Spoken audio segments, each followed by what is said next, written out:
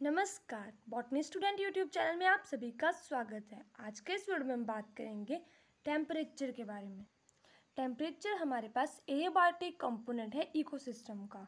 और टेम्परेचर जो है, वो बहुत ज़्यादा इम्पोर्टेंट इकोलॉजिकल फैक्टर है, जो इफ़ेक्ट करता है almost all the activity of organisms इस वीडियो में हम यही देखेंगे कि टेम्परेचर जो है वो किस किस तरह से हमारे प्लांट्स और एनिमल को इफ़ेक्ट कर रहा है।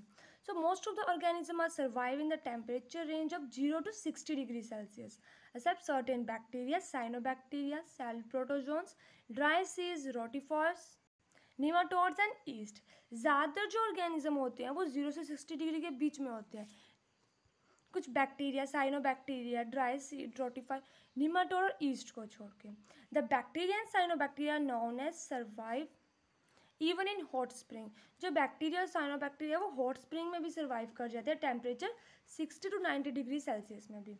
और परफॉर्मस और परमाफोस्ट होते हैं। परमाफोस्ट मतलब जो माइनस थर्टी डिग्री से माइनस फिफ्टी डिग्री सेल्सियस में सर्वाइव कर जाते हैं। बस most of the organism are killed by higher temperature due to denaturation of enzymes while other are killed by low temperature due to freezing of body fluid except dry seed spots cyst which have no water ज़्यादातर जो animals हैं हमारे पास organisms हैं, वो high temperature की वजह से जो है वो किल्ड हो जाते हैं और कुछ जो है वो लो टेम्परेचर की वजह से लो टेम्परेचर में हम जो है वो ड्राई सीड स्पोर्स और सिस्ट को रख सकते हैं क्योंकि उनमें वाटर नहीं होता और वाटर नहीं होता तो कोई भी चीज़ जो है फ्रीज नहीं होती। अब बात करें सबसे इम्पोर्टेंट चीज़ के बारे में, वो है temperature affecting plant and animal किस किस तरह से टेम्परेचर का इफ़ेक्ट होता है प्लांट और एनिमल्स तो सबसे पहले आता है रिप्रोडक्शन रिप्रोडक्शन जो हमारे पास आता है, उसमें जो फ्लावरिंग्स होती है प्लांट की इन रिस्पॉन्स टू टेम्परेचर का थर्मो पीरियोडिज्म जब टेम्परेचर ज़्यादा होता है, कुछ फ्लावर जो उस टाइम पे फ्लावरिंग करते हैं और कुछ लो टेम्परेचर पे करते हैं तो उनको बोलते हैं thermoperiodism in animal the maturation of gonads and activity of spermatozoon tissue are also temperature dependent which vary from species to species animals में भी जो मैचुरेशन होता है गोनेट्स का स्पोमेटोजेनिक एक्टिविटीज़ होती है, वो टेम्परेचर के ऊपर डिपेंड होती है. सेकेंड हमारे पास आता है growth and development both extremely low and high temperature retard the growth and development of plant high temperature से भी इफ़ेक्ट होता है लो टेम्परेचर से भी. Low temperature are known to cause desiccation desiccation होता है injury due to dehydration chilling injury injury of plant of hot climate freezing injury freezing injury होती है जब प्लांट सेल को जो है वो, उनमें आइस क्रिस्टल की फॉर्मेशन हो जाती है in the inter intercellular spaces inter intercellular spaces में जो है हमारे पास आइस क्रिस्टल की फॉर्मेशन हो जाती है।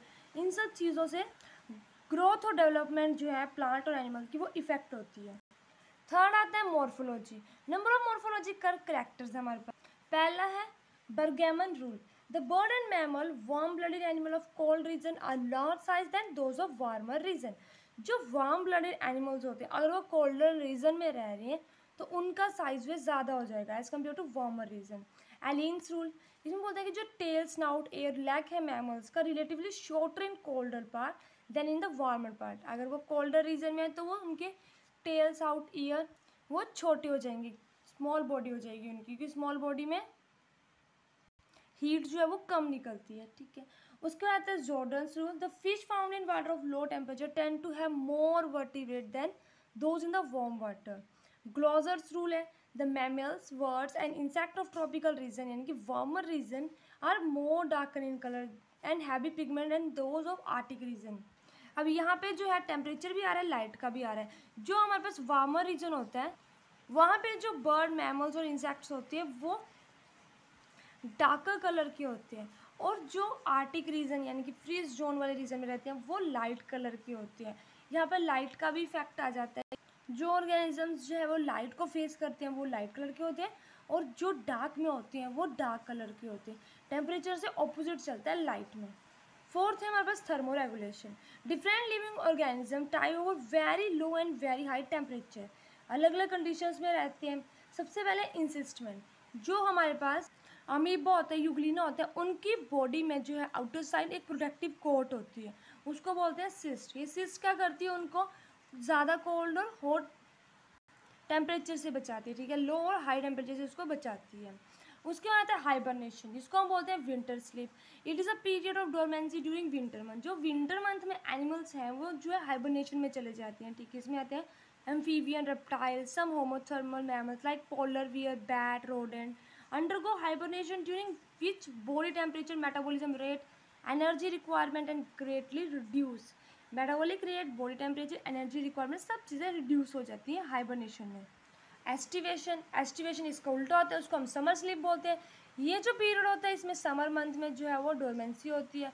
So as to escape from scorching heat of sun sun की जो हाई हीट है, उससे बचने के लिए समर स्लीप होती है। कौन चाहते हैं, यहाँ पे लंग फ़िश होगी लेडी बर्ड वीटर हो गया certain birds and snails in insect aestivation is characterize by diapause diapause होता है suspension of morphological growth and development insect जो एस्टिवेशन में चले जाएँगे, उनकी भी ग्रोथ मॉर्फोलॉजी डेवलपमेंट सब बंद होती है, ठीक है? आगे आता है साइक्लोमॉर्फोसिस ये करेक्टर होता है change in body shape with seasonal temperature जैसे जैसे टेम्परेचर चेंज होगा शेप बॉडी की शेप भी जो है वो चेंज करेंगे। और ये कौन करते हैं? स्मॉल एक्वेटिक क्रिएचर जिसमें हमारे पास आता है Cladocera Daphnia thermal migration it involve the shorter journey undertaken by animals as to reset, reset the temperature extreme. हमारे पास टेम्परेरी वाटर में चला जाता है फ्रॉग जिस टाइम पर ज़्यादा गर्मी हो जाती है तो वो फ्रॉग जो है वाटर में चला जाता है. Turtle many amphibious forms long trip migration by many birds arctic tern Siberian cranes बहुत सारे बर्ड्स जो हैं वो अलग अलग सीज़न में अलग अलग कंट्रीज़ में जाती हैं, ठीक है? उसके बाद है प्लांट्स प्लांट जो है प्रोटेक्ट करते हैं अपने आप को एक्सट्रीम टेम्परेचर से। थिक क्यूटिकल की वजह से। थिक कोक वाक dense hair coat thick leaf mucous और टैनिन्स इन सब की मदद से प्लांट्स भी खुद को बचाते हैं। Some animal lay winter eggs to withstand the cold weather and continue the race while the adult died in cold weather कुछ एनिमल जो है, वो कोल्ड वेदर में अंडे देते हैं और वो कंटिन्यू रहते हैं, लेकिन कुछ एडल्ट जो होते हैं, वो कोल्ड वेदर में डाई हो जाते हैं। तो ये थी हमारी आज की वीडियो जिसमें हमने देखा टेम्परेचर का जो है क्या क्या इफ़ेक्ट पड़ा है प्लांट और एनिमल्स पे। इसी के साथ हमारी वीडियो कंप्लीट होती। है आई होप आपको मेरी वीडियो अच्छी लगी हो। अगर आपको मेरी वीडियो अच्छी लगी तो प्लीज़ मेरी वीडियो को लाइक करें चैनल को सब्सक्राइब करें। Thank you